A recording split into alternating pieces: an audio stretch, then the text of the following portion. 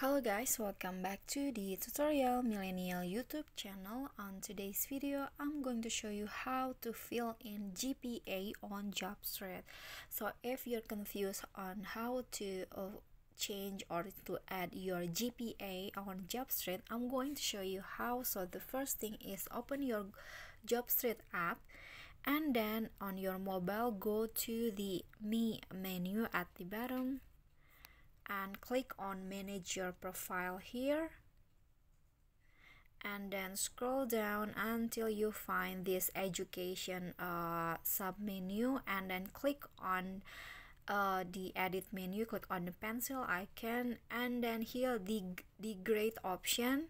Just click on this and then choose uh, the uh, type of grade that you want to add.